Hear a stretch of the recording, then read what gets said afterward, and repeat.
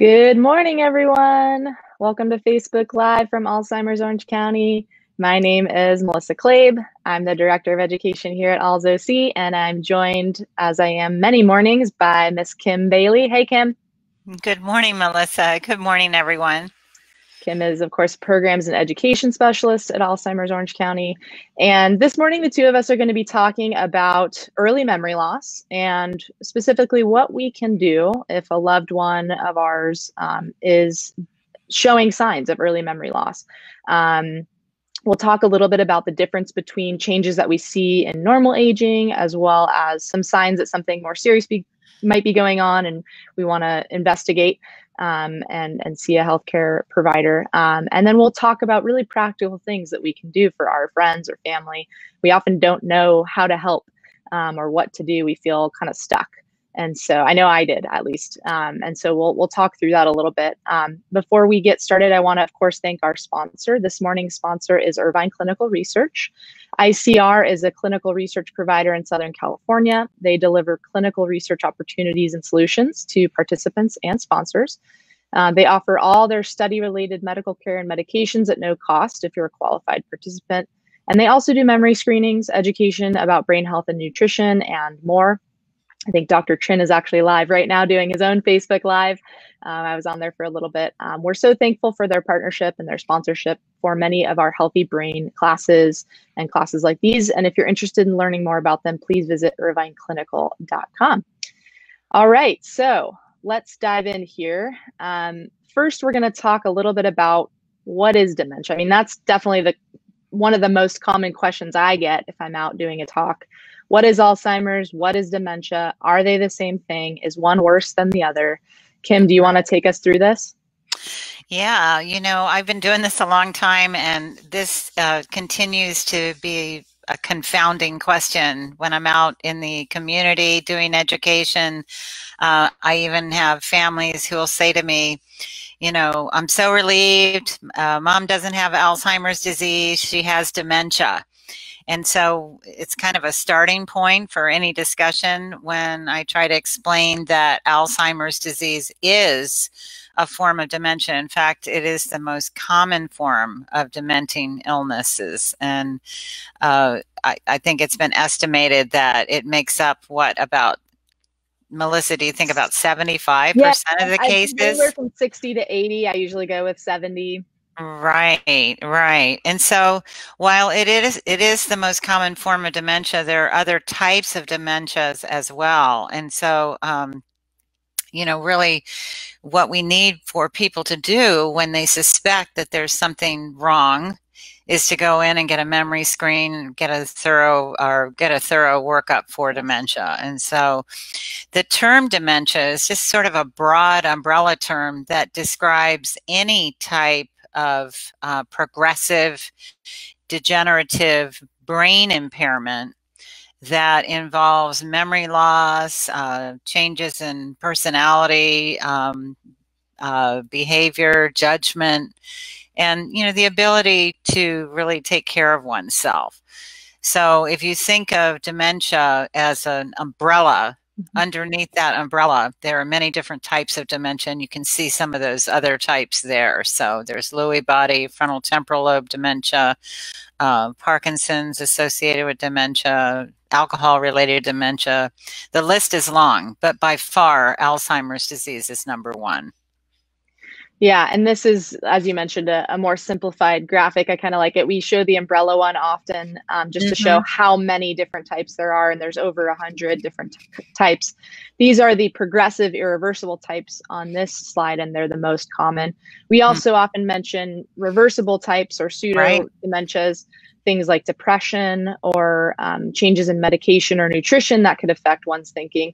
And that's why it's really important too to get a screening or a proper diagnosis in fact to rule out or rule in those those things that may be treatable and even if somebody has alzheimer's and a thyroid condition or and dementia and we can right. treat the thyroid condition or dementia um, the alzheimer's we can't treat at this time but those treatable right. things may improve cognition somewhat if somebody has multiple yeah. things going on Yeah, and it's complicated because there isn't one single clinical test that people can go to the doctor and get to determine whether or not there's a presence of dementia, of a dementia. And so, uh, and I think, Melissa, don't you agree that people are kind of scared uh, to just go and do that whole process Absolutely. of testing. So, if we can just make a suggestion, if you're worried about yourself or a loved one, a starting point could be a simple memory screen. And we can do that for you. We offer free memory screenings, and we used to offer them face to face, and we're able to do them virtually now. Yes. And so you can uh, sign up for a free screening and then take that. And if for some reason your results fall outside of the uh, what how would how would you put it expected Melissa? range for your age expected range for your age then you can take those results uh, to an assessment center or your doctor. Uh, if you need referrals we can give you those and then you can go through more extensive testing. Uh, it's just a starting point.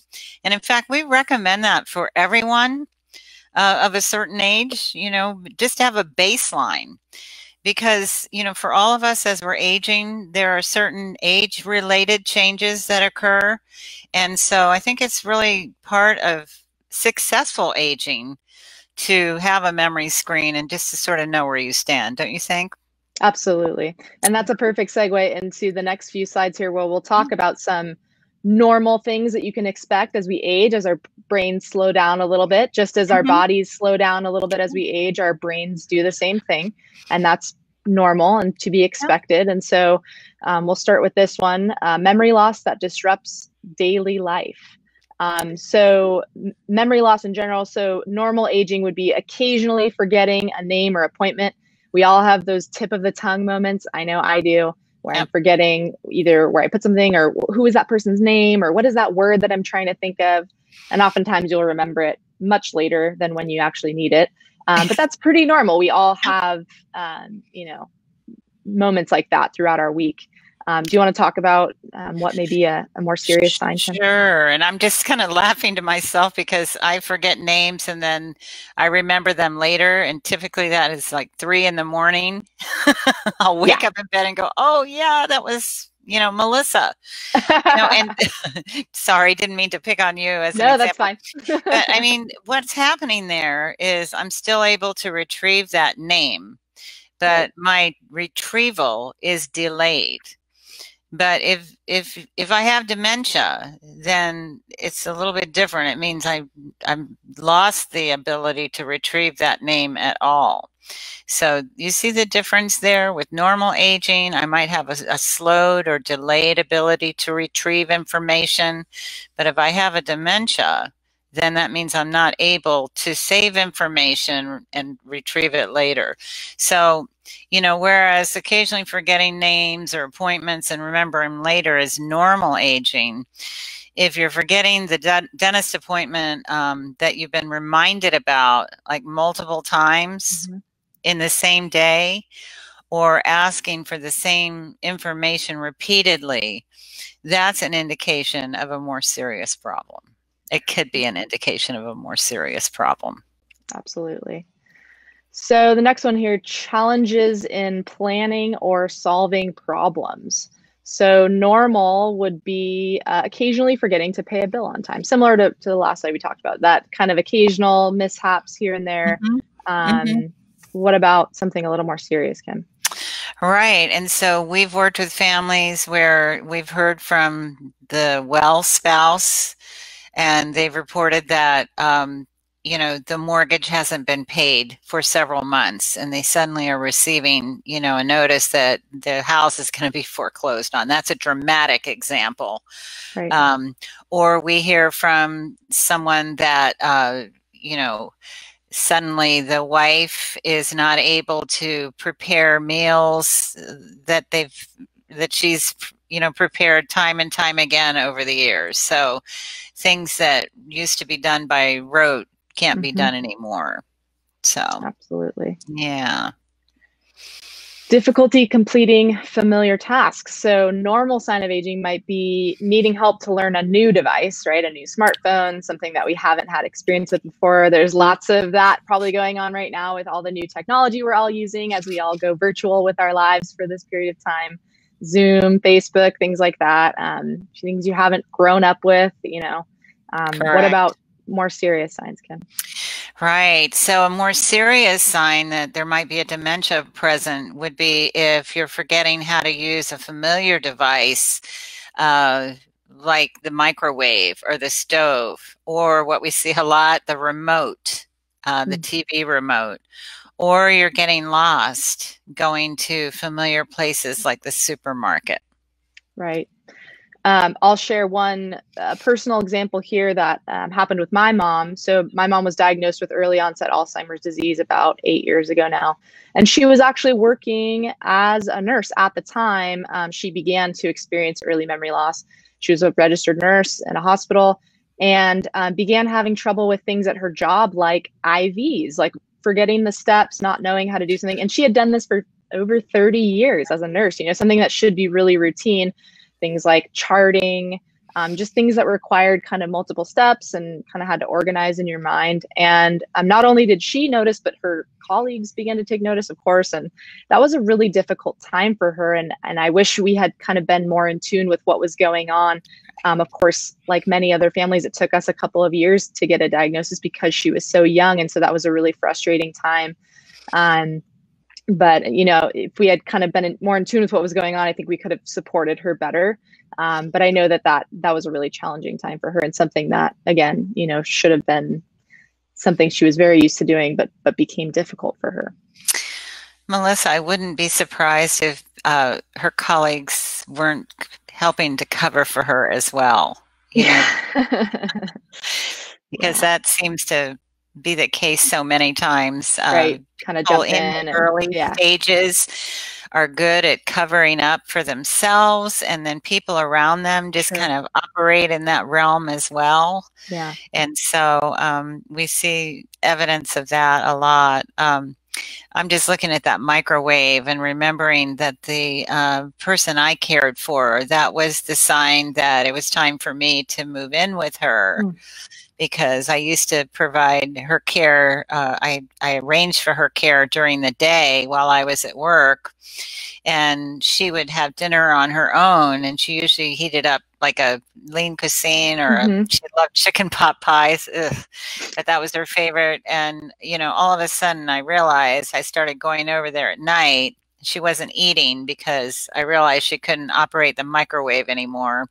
And kind of simultaneously with that, I realized that it was very warm in the house because she could no mm. longer operate the air conditioner. And so that was, you know, my cue that it was time for her to have overnight care as well. So, yeah. Yeah. So, all right, new problems with words or in speaking and writing. This is definitely a big um, indication that, um, you know, maybe a sign of Alzheimer's disease or dementia, because language is one of those areas actually that that should not change much, if at all, or it should get even better as we get older. We can still learn new vocabulary and things like that. So, if there are significant changes in language, writing, speaking, um, that is definitely a sign that, that you want to investigate. Um, again, the tip of the tongue moments that I mentioned, those are pretty common. Occasionally forgetting the word, we've, we've all been there, we all have those. Um, Kim, do you want to describe what it looks like when it's a more serious problem? Sure, sure. With normal aging, you know, problem problems with concentration and focus can occur. But if you're noticing that you're having trouble following a conversation a lot, and or your loved one is, um, and then particularly if they're they're having problems with naming objects and calling things by the wrong name, like hand clock, right? Instead of this, uh, watch, you yeah. know, um, or milk pourer hmm. for You know, they they come up with descriptor descriptor words, but they're not able to name common objects. So that's a definite sign that they may have Alzheimer's or another type of dementia. Right. And that I mean like all of these things is incredibly frustrating for people and they, you know, they are likely realizing that that's happening And so they may, you know, like all of us, what would our reaction be to, to get defensive sometimes or or withdrawn, like the next one that we'll talk about here, um, withdrawing from work or social activities.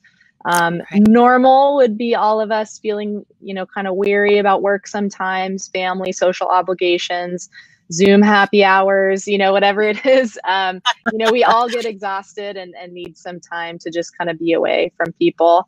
It's pretty, and depending on how, you know, introverted you are, that might vary from person to person. Um, but it's really the change that we're looking for. If somebody was really outgoing before and loved being around people, and now we're noticing kind of that withdrawal, um, you want to talk about that a little bit more? Right. Well, when you notice people starting to uh, skip out on really beloved activities, um, making excuses like, oh, I don't feel well, or I'm too tired to go to church, or no, I don't really want to go to lunch this mm-hmm. week. Um, the reason they're doing that is because I mentioned earlier they're they're trying to cover up. Mm-hmm. Uh, it's a fear factor. We think we mm-hmm. can only you know, kind of guess. But I always thought it was probably they're just afraid they're going to make a mistake and reveal that something's wrong or embarrass themselves in front of their peers.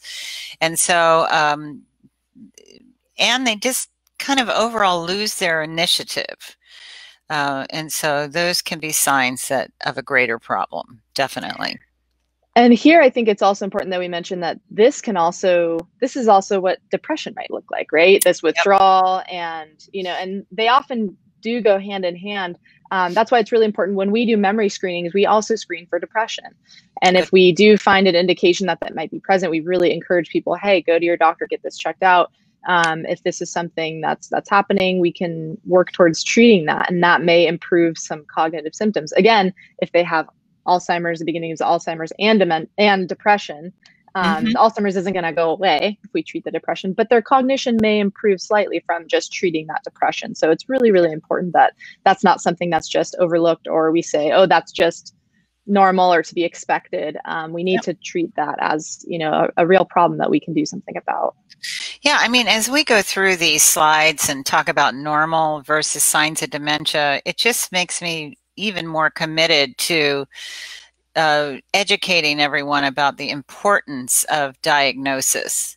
Because if you're going through these these changes or if you suspect things are happening and things are changing or if you're seeing these signs in a loved one delaying is only going to make things worse and there is always the chance that tests will reveal something treatable Right. And here we're going back and talking about those reversible symptoms that Melissa mentioned depression or over medication or a thyroid imbalance or some kind of an infection that's not been treated appropriately. So, you know, hiding and in fear is not the answer. The answer is getting a screening, getting the testing, and you know the, what the testing does is systematically rule out any possible uh, reason for these symptoms.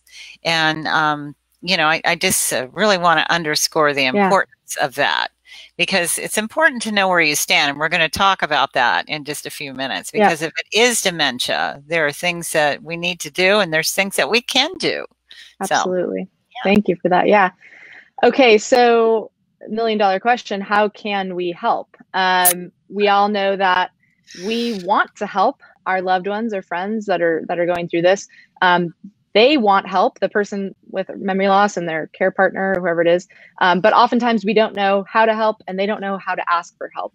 So this is kind of just a really a starting point of brainstorming. It kind of breaks down the different types of help that we might think about, um, makes it kind of a more manageable thing to think about. And this comes from uh, a manual called iSupport. It's from the World Health Organization. And I will put the link in the comments because I think it's a really great resource. Um, it's really long, actually. It's filled with all kinds of practical tips. And I liked the way they broke down asking for help and thinking about ways to give help. So I just want to talk through some of these a little bit. Um, practical help, of course, is kind of what it sounds like things around the house, cleaning, shopping. Um, oh, someone says they don't always want to help. That's unfortunate. Um, there, of course, are going to be some yes. family members, right? But hopefully, we'll talk about kind of um, figuring out who your team is and who your support team is, and if there are people that you can, those people you can call at three in the morning, those, you know, the people that will rally around you. It might not always be the close family. Um, it might be some other friends or or other people in your community that are going through the same thing that understand it. Um, and maybe it's a matter of figuring out how to meet those people, and, and maybe we'll have some opportunities for that as well. Um, but practical help looks like things around the house. Um, quick story from us. Uh, it was the beginning of the pandemic in March. I think my so I live. We take care of my mom. I live with my dad, my husband. It's a full house here. Um, I think he had mentioned offhand to a neighbor, "We're out of paper towels," something like that. I don't want to go to the store. You know, it was kind of that crazy beginning of the pandemic time.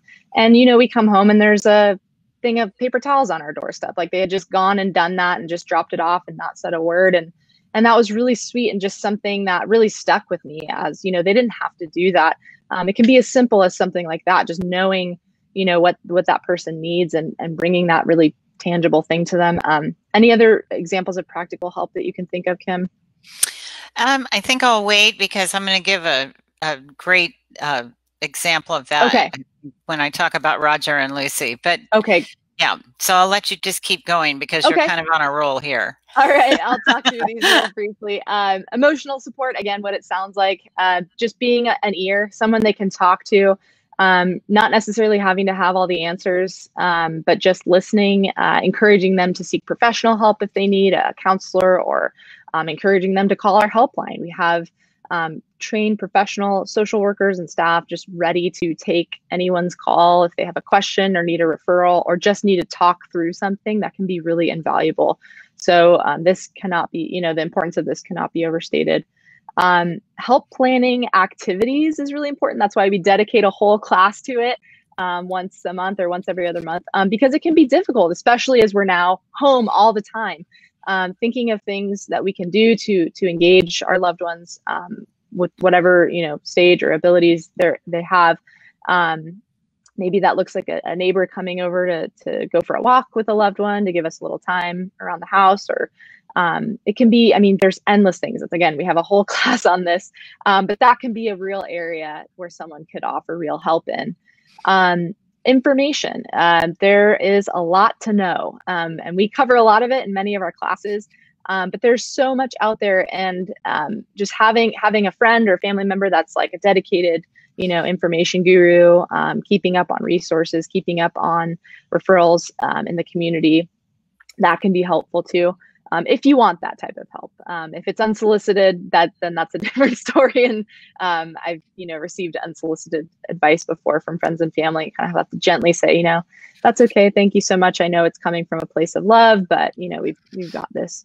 Um, so, and there are many other types of examples, but but just brainstorming thinking of ways to help can can be a start when we feel like there's nothing we can do or there's i don't people are offering help but i don't know how to tell them how to help us um, right. and kim let's talk about roger and lucy because they're just a, a, really cool example and super unique yes. but before i do i want to address sue because you're you're so right sue There yeah. is often resistance and so uh, i just want to say that the, all the things on the slide before you can do those things yourself. You can gather resources, you can get yourself educated, you can get support, uh, join a caregiver support group. So you can line, you know, you can, you can lay the foundation for all of that on your own, working, well, not on your own, but working with your family and resources around you. Uh, because unfortunately, yes, sometimes they are very resistant and they don't, they're in denial. They don't think anything's wrong with them. They don't understand why this is going on. And so unfortunately, you have to kind of walk that path on your own, gather those resources and support around you and uh, hopefully in time that resistance will fade. So you make a very good point, and I just wanted to acknowledge that, Sue. It's true, we do see a lot of resistance. So Thank as you. far as far as getting support, this is just one person's approach, but it's it, it happened a few years ago, and it kind of stuck with me, so I wanted to share it with all of you. Uh, a lot of times families are reluctant to share the news of a diagnosis. And um, whether it's because they feel there's a stigma or, you know, they're embarrassed or whatever, I wanted to share that Roger uh, who gave us permission to tell his story, felt the opposite. He wanted to broadcast the news of his dear wife's diagnosis far and wide. And he's a businessman. You can see from his picture, you know, he owned, he actually is he owned and operated a corporation for many years. And he uh, sent an email broadcast to everyone in his contacts uh, family, etc., relatives, friends, and he made the announcement that his dear wife Lucy was diagnosed with early Alzheimer's disease, and he needed their help, and uh, would invited them to join in Lucy's journey. And to that end, he attached an Excel spreadsheet with a whole list of things that people could do and sign up to do to help Lucy. And I have to tell you, it had everything from small things to large things. It had, you know, I will take Lucy to her hair appointment. Uh, I will pick up groceries. I will come and stay with Lucy while Roger goes and golfs on the weekend. I mean, it was myriad tasks. And people filled that up, and he used that chart, and he's still using it and it was just so effective and everyone could not wait to jump on the Lucy bandwagon. And he had so much support, it was coming out of his ears. So he, you know, it was just really wild. he used a business approach to enlist support for Lucy. And I'm not suggesting that everybody go out and do that. But what I am suggesting is that you ask for help and that you be specific in what you ask for because people often First of all, they don't know you need help until you tell them. And so, with your loved one's permission, share the news with people. Half the time, they know something's wrong anyway. Yeah. They suspect and they know. And, you know, if some of them don't step up to the plate, some may go away and let them because, you know, the people who are your real friends hopefully will participate and then be specific about the things that you need. And when they say, well, I'd love to help, what can I do? You know, be ready with a few answers, you know, with some tasks and um, share the care because this is often a long journey. People with this illness are generally speaking, in the absence of other types of conditions, people will stay healthy for quite some time. And so it's uh, you're going to need some support along the way. They will need support along the way. So let's make it Absolutely. work. Bring in yeah. other people. Great. And I feel like this was kind of a almost like a low tech, cool. Like he was ahead of his time because there's websites now like CaringBridge.com, yes. I think is one of them, and other ones that kind of organize that. I don't know if you have to pay for them. I, I honestly haven't used them myself, but Okay. So yeah, same thing where you can kind of create tasks and people can sign Absolutely. up meals and things like that. So so but I love his just simple Excel sheets. It gets the yep. job done. Yeah. And thanks again, Sue, for your additional comment. Yeah. I, it's, we it's hear you. place we to be. Absolutely. You. Yeah. And um yeah, we're big on on caregiver support as well. So, you know, we, we understand. Um, gathering information, I, I mentioned um, there's all kinds of things that that need to be gathered, all types of information, referrals for specialists, which we have again in our helpline. Um, information on how to get it that really important comprehensive diagnosis, as Kim mentioned. We do have a, a fact sheet on that. If you're interested, call our helpline. Um, legal and financial matters, again, we offer uh, legal and financial um, workshops information on healthy living, keeping your brain healthy. We got that too. Um, and, and information on clinical trials. And clinical trials is a very personal decision. Every family has to decide for themselves, every person, if that's something that they want to, you know, get information about and consider.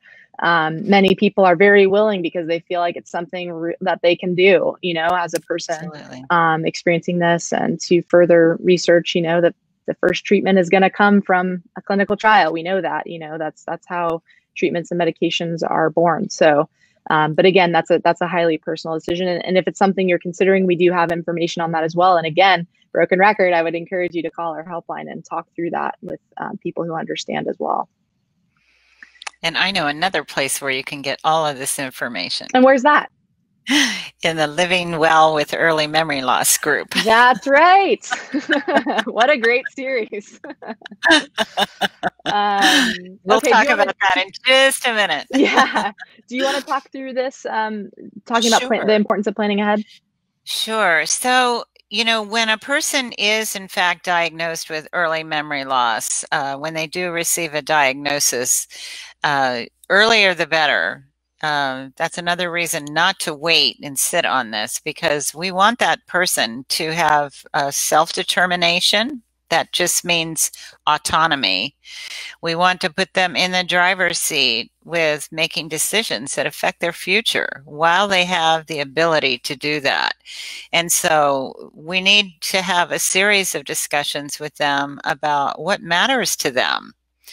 And uh, when I see that term, what matters, it reminds me of some work that um, Melissa and I did uh, in some some hospital training, mm-hmm. and it was uh, what I don't know if I can explain it right, but in a hospital, people are always walking around saying, "What's what's the matter with what's you?" What's the matter? Yeah, yeah. What's the matter? Talking about your symptoms, and then instead of asking people what's the matter, we need to ask them what matters to you.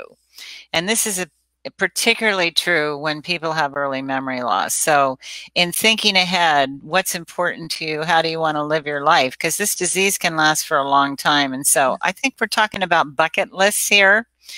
And, you know, plans change, priorities shift, but we need to know what lies ahead and what's important to people. So even creating an important paper, like what are your goals right now? We need to talk about what are the things left unfinished, what needs to be checked off that list.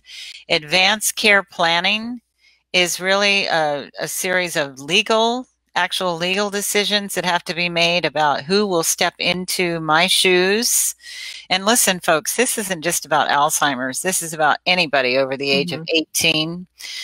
I have, you know, named a person who can step into my shoes and make medical decisions on my behalf should I become incapacitated. I have a person who will step into my shoes should uh, I become incapacitated that someone who can make financial decisions on my behalf. So those kinds of of um, plans. I needed, you know, people need to name agents to work on their behalf. So some legal and estate planning, some end of life planning, those kinds of discussions, however uncomfortable, they shouldn't be uncomfortable, but in our society they are. Yeah, very those, taboo it's it's crazy really but it's circle of life to me but you know they're tough but we need if those discussions haven't taken place they need to have to take place and they need to be sort of signed seal delivered from a legal standpoint. And then we need to look at our lifestyle because there's a prescription for healthy living that fits very nicely when you have a diagnosis of Alzheimer's disease or another dementia. There are some healthy strategies that can help improve quality of life and that I believe can help with people's functioning. And, you know, sometimes people just need to make some small changes in their diet and their lifestyle, uh, exercising, cognitive stimulation, sleep, uh, stress reduction, etc., and even just making some small changes can make a big difference later on. So Absolutely. that kind of planning needs to take place, and I think it's very important not only for the person with the illness. And hey, if they're resistant, then let's look at the. I mean, it's equally important for the the care partner. Right. So yeah. equally important. to be something that is done together you know hey i want to think about what's important to me as you know we get older i want to yeah. think about what would happen if something happened to me you know let's do this together. that's right we do not want the care partner getting lost in all this in no. the caregiving we want to help them keep their sanity as well yes. so so there's a place to talk about all of this and more and to meet others who are going through the similar situation. Uh, and it's called the Living Well with Early Memory Loss series. And we're doing them monthly. And we have one coming up with openings. We have openings. And that will take place on September 9th, 16th, and 23rd from 1.30 to 3. So this is a group that is for a person who has just received a diagnosis or is in the process of going through the diagnostic uh, pro, uh, Oh, we're finding, we're finding. Maybe I should teach it and be in it. Um, this is for a person who might be going through the diagnostic process right now uh, or is in the process of getting the testing done uh, or a person who's just received a diagnosis of Alzheimer's or another type of dementia. And we come together on Zoom and we talk about coping techniques. We talk about healthy strategies, like the things I just talked about. Um, we talk about medications. Uh, we talk to each other it's a place where people don't feel like they're the only ones going through this. And if you you know of someone that uh, is appropriate for this group, we encourage you to contact us and let us Absolutely. know. Absolutely, please do. So, I rarely let a class go by without some sort of quote from a person with dementia um, because I think it's so important to, um, and and their voices aren't often heard.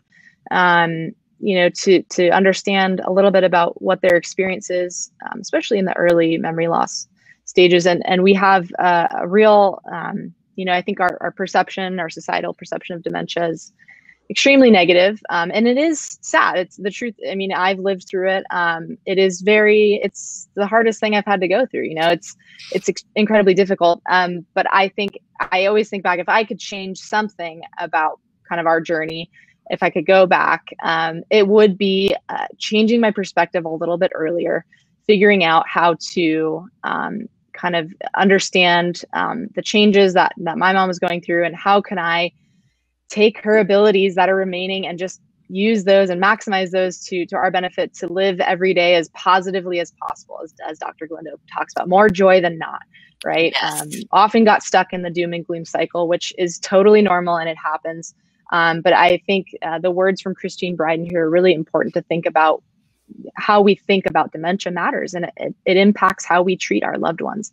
So um, she says, Our main fear is the loss of self associated with dementia. We face an identity crisis. We all believe the toxic lie of dementia that the mind is absent and the body is an empty shell. But we can find a new identity as an emotional being. In our relationships, we can connect at a deeper level and I think it really it, it is how you see it. And um, my mom taught me so much about living and life. You know, in her years of dementia, we were so much more present with each other than we probably would have been otherwise. Um, would I trade, you know, that? Of course, I want you, and I would want her to to not have Alzheimer's if I was given the choice. Um, but that's the dealt we that's the hand we were dealt, you know. And so to to be able to learn from that, maximize her ability, um, and and kind of reshape what dementia is that that does did and does make a big difference for me. Um, I, I want to read a couple other quotes here and then you can jump in. Um, these are also people with dementia. A man named richard taylor he was a physician actually he said i just want others to try to figure me out to understand me to love me as i love them. Um, this other person says i've heard people say you don't look like you've got dementia. Fancy that. How are we supposed to look and that's a big thing too right? We can't always tell you know oftentimes we can't. And and like in my experience my mom was so young that no one would have expected her to have dementia if she says something kind of off in the grocery store or tells it you know a story that didn't really happen. And so you know it's really all about you know how can we how can we love them in the midst of this and, and maximize the abilities that remain? Anything you want to add kim on that? Oh you're I just want to add that you are such a beautiful caregiver, Melissa. Your mother is just really blessed by you, but um, and your whole family. But I was just thinking about this quote of Christine Bryden. Is yeah. it? Uh, it actually reminds me of a quote by one of your other heroes, oh, Dr. Power. That's right. you got me hooked on him. I was reading some of his things over the weekend, and there's a simple quote. He says, We need to change our minds about people whose minds have changed. I love that quote. Yes. It's just, it's so simple, but so true. It's really about just our expectations and stepping into their reality and accepting that they can't change you know yeah. and we have to we have to change we can we have to change.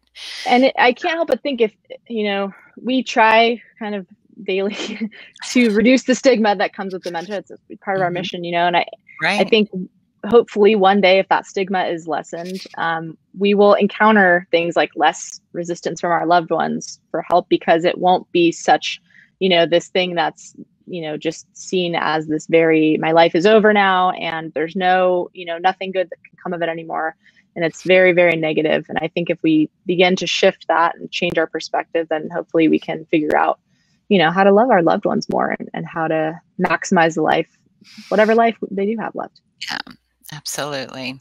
So um, we'll kind of finish here with talking about some practical ways that our communication might have to change. Um, again, we do an entire class on this, caring conversations, right, but we'll right. kind of do the highlights here. And, and I love the way you talk about this um, graphic here. So you want to talk us through this?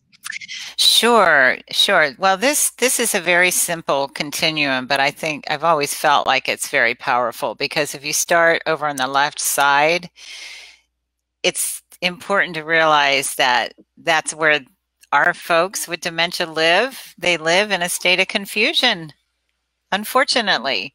I mean, uh, sometimes it's not as profound. They have good days and bad days, just like we all do.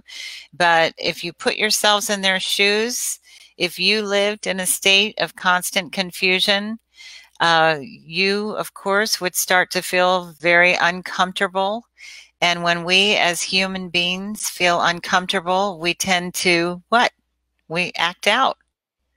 And so, you know, we sort of see this shift all the time with our loved ones where they get confused, they start to get uh, upset and agitated, and then it can go into this expression of distress, which we used to call behaviors, but we try not to use that word anymore because it implies that they're being bad. And we know that this is beyond their control. So we don't use a punitive word like behavior. However, this cycle has to stop, right? Yeah. Because we know in dementia care that it can repeat all day, every day. And the good news is, is that we can, we do have the power to mitigate this cycle from repeating itself over and over again. Maybe we can't stop it all the time, but with the tools that we have at hand, if we can even stop it from happening part of the time, yeah. that's really good news because we don't want our loved ones to feel this way. We really don't. Absolutely. We do have the power to to do better. And sometimes it's really sometimes unfortunately it's about us and our approach. So let's talk about that a little bit because we know that you know really what we're trying to do with our loved ones goes beyond words.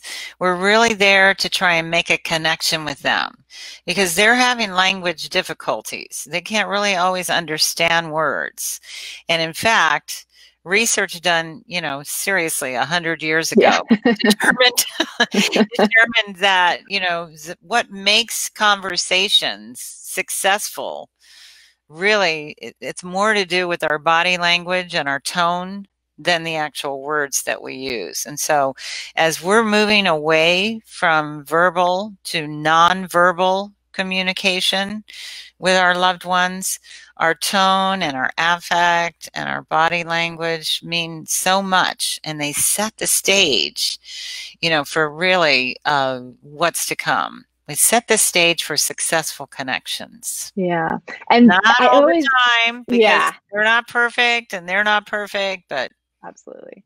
Yeah. But I always, when I look at this study and I look at the body language, the tone, the words, this is for all of us. This is not specific to dementia. So I always, I'm always like, okay, even in my comp- conversations with you know people who don't have dementia like my body language my tone is far more important than what i'm saying yeah. and this actually works in our favor with people with dementia because what are they losing they're losing the words right. you know and those other things are actually becoming even more heightened like their emotions like christine bryden said we're becoming an emotional being it's right. like my mom had this sixth sense all of a sudden she could just pick up on if i was distressed if i was yes. anxious and she would mirror that and so I could then kind of use that again to my advantage if I was able to kind of take a breath and, you know, kind of exude a very gentle, calm demeanor, then that would likely, you know, transfer over to her or or a smile, of course. That's, that's exactly um, right. That's exactly yeah. right. Now we're, you know, talking really about any stage of the illness. Uh, yeah. You know, started out talking about early, but now this is applicable to anybody. So yeah, Yeah. Do you want to talk about this a little bit? Sure. So, you know, we're going to try to be on, you know, constant alert for our own feelings and body language as well as theirs. Because as Melissa just said, they're going to mirror our emotions. So if you feel like screaming, you know, go out in the backyard. and if you feel like crying, which you do, you do it in the shower, right? Many caregivers cried in the shower. So uh, you want to offer lots of comfort and lots of reassurance. I mean, you can't give enough. Yeah. because remember that state of confusion they live in. So they need constant, you know, validation and compliments, smiles, I love yous. Try to avoid criticizing or correcting it's there's no point in trying to be right anymore and i don't know what it is about our society we have to be right all the time we're always yes, googling things you know we're in a conversation I, you know and it's like no i don't think it happened in that year i'm going to google it you know so i will spend no. the rest of the night trying to prove it. It's better to be kind than to be right and as Melissa, she said it kind of fast, but she was talking about mother telling a story that wasn't true. They do that all the time. It's called confabulation. Um, and it's, but it's, or we could just call it lying, but they don't have the ability to do that on purpose. They're not lying. They're just telling their right. truth. So let them tell about fighting in the war, you know, and, and they never served. It doesn't matter. I had a, a client who tells a great told me a great story about his experience at Harvard. And he was actually teasing me about going to Cal State Fullerton. And he said he went to Harvard and he was kind of making fun of me for going to the state university. And he's like, I went to Harvard. And I said, Tell me about Harvard. Yeah. And he's all on and on about Harvard. And his wife walked up behind me and said, He never went to college. but it doesn't matter, you know, so just let them be right all the time. And if they yeah. tell you you're wrong, apologize and say i'm sorry. So these yeah. are the things that we do. And um, you know if they're if they're struggling for a word you know give give them a little time to try and figure it out but you might offer a guess if they're comfortable with that. In the early stage though you have to ask permission. Yeah. You you say do you want me to try to give you a word? You ask permission to save yeah. so they can save face. But just encourage nonverbal communication. What do I mean by that? You know, hugs, smiles, um, you know, just make a connection another way if you're not going to have these intense conversations anymore. You can do art and music. There's lots of ways to make connections that you we talk too much, really. Really. I, I think you talk the exact right amount, Kim. and when we approach, we do not sneak up on people, okay? and we don't stand and tower over them. We're respectful of body space. We approach from the front um, you know, when I'm working with my clients uh, in person, I don't know forever. I hope we can do that again. Yeah. But I always say, "Hey, it's Kim. How you doing?" You know, just to give them that clue to help them save face. Yeah. You know, I don't say, "Remember my name" or "Who am I?" Who am I? You know, and don't do that. That's yeah. just don't do that. Identify yourself. Come down to their level um, you know, they do have visual problems, so you don't want to get in their face, but you do want to get at their eye level and you want to keep that nice, you know, personal space. Uh, always smiling and be inviting. Um, do speak slowly and clearly. And this is great advice for anyone over 50 because we all have hearing loss due to um, noise. And so you know, hearing loss and Alzheimer's is really bad. So we want to speak slowly and clearly and break down your sentences, give them time to take it in and process it, and give them time to respond to you. So really got to kind of step back and just take your time. Use that gentle and relaxed voice and tone. Yeah. and louder is not better. Louder not better. Out louder. No, we don't want to do that. They'll we think don't you're wanna, mad at them. Right. That's very yeah. irritating. Just very, slow, yeah. maybe a little bit deeper even of a voice if your voice tends to be high. That's good for hearing loss too. Yeah. Yeah. So we'll kind of finish up here uh, with one of our all-time favorite quotes. And this is actually a picture of my mom and I on the lake and 2014, Lake Mission Viejo out here. Um, this was a great day. Did she remember it? I don't think so. Um, but she remembered that we had a great time. She, you know, that carried over, I think, for both of us for a long time.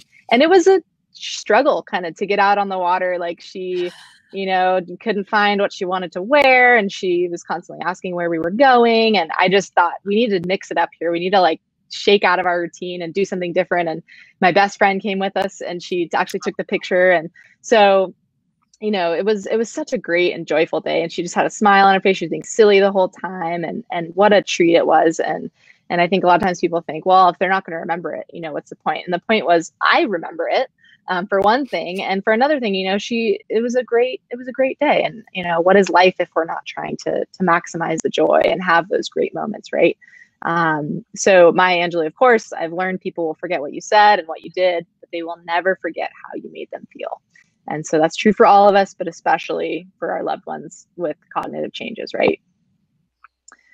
So um, I want to mention a couple other uh, classes that we have coming up. We have one tomorrow. Speaking of healthy brain classes, this is for anyone. Anyone is welcome. It's via Zoom, so you do have to go over to our website and sign up.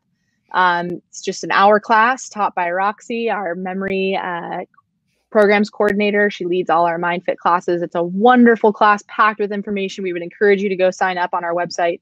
And she's also teaching a series called Four Weeks to a Better Memory um, that uh, goes through all kinds of cool memory tricks and enhancing techniques. Um, and again, you know, for any of us, um, especially those of us that maybe are experiencing some some of those normal age-related changes we talked about, um, she always says the first step to forming a memory is paying attention. So you learn things like that and how to just maximize, you know, our, our memory on a daily basis. Um, we also have our walk. Kim, do you want to talk about our walk for a second? Oh gosh. Listen, we need everybody to get involved. We can't walk at Anaheim Stadium this year. We're going to work. Uh, we're going to walk virtually in our own neighborhoods, but with no less enthusiasm. We've got lots of people signing up, and you can form a team, or you can walk on one of our teams. I have a team, Melissa has a team, and we're all very excited to have you join us. And you can walk or run, and we'd love to see a huge turnout. Uh, we need you. We need you. Um, it's a great cause and it funds uh, the programs and services and education that we offer to our uh, clients and families that need that support desperately. So please go to our website and find out all about it and get involved. We'd love yes, to see you. Absolutely. There'll be and lots of photos. People will be taking selfies and we'll be posting them online. And think we'll probably have some fun uh, competitions and contests. Oh, I'm sure there'll yeah. be plenty of things on the day of. Um, I just put a few links in the chat. I put a link to our Healthy Brain class tomorrow if you want to sign up. To our walk, please sign up for that. And to a recent blog that we posted on our website on the topic we talked about today um, some notes if you'd like to see those and how to join our, our early memory loss series. Um, of course, as always, please call our helpline. We would love to help you. We would love to just be an ear for you or offer you you know information or resources um, join our caregiver support group on facebook it is a closed private group nobody else besides who's in the group will see anything that you post um, so we would encourage you to to join other caregivers there um, and again, thank you to Irvine Clinical Research for sponsoring this morning. Thank you to all of us, or all of you who, who joined with us this morning. Um, it was a pleasure to, to be with you all today. And next week, Dr. Galindo and I will be doing part two of our um, Becoming a Resilient Caregiver series. Great. Um, so we hope to see you back for that. Thank you, Kim. Thanks, Melissa. It was a pleasure to be here. Thanks, everyone, for tuning in. And we'll see you all next right. time. See you next time. Bye bye.